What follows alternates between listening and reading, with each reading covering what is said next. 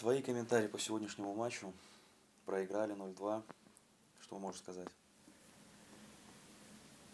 Ты даже не знаешь, что сказать, но проиграли по делу. Как-то за всех говорить не буду, это неправильно отвечать за всех. Э, просто за себя скажу со своей стороны.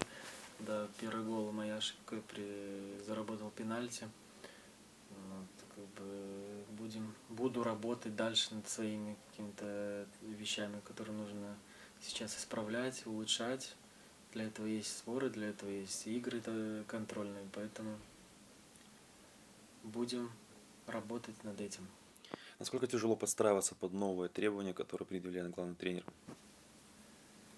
Ну, тяжело настолько, насколько еще не, не укомплектован состав, знаешь, каждая игра, большие изменения, ротации, не знаю, по пять человек сразу новых приезжает, э, сразу играют, и, знаешь, все в разных, совершенно разных кондициях, не знаю.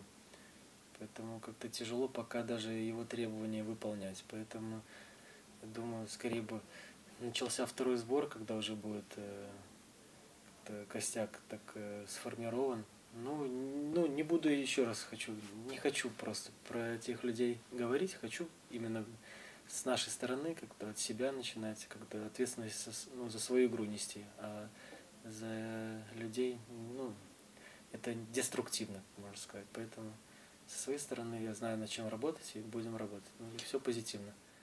То есть пока можно так немножко спокойно отнестись к результатам первого сбора, потому что много просмотров. Ну, да. Ну, по-другому не знаю, что еще можно тут.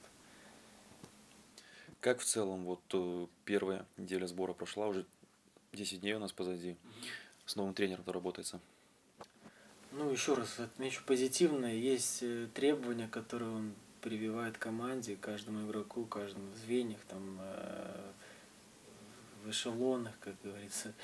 Э, очень вижу, что если мы возьмем на веру и будет каждый выполнять то, что от него требуется, принесет результат. Поэтому главное верить. Это всегда было, есть и будет. Вера – это большое дело. И выполнять с верой в то, что с верой в хорошие результаты в будущем.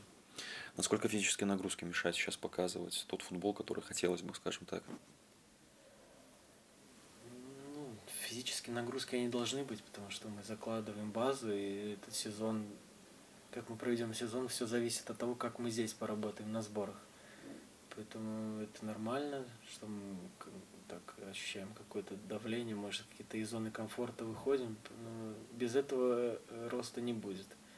Потому что ну, это нормально.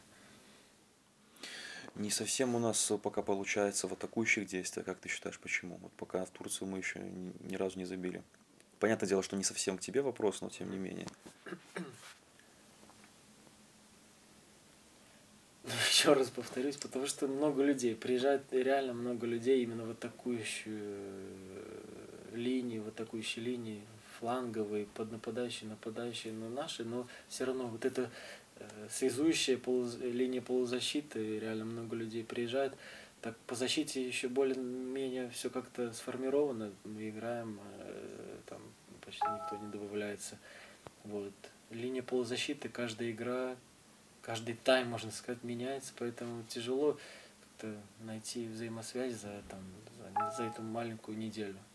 Поэтому вот и получается, что не можем создать остроты какой-то у ворот соперников. Вот, но будет, острота будет.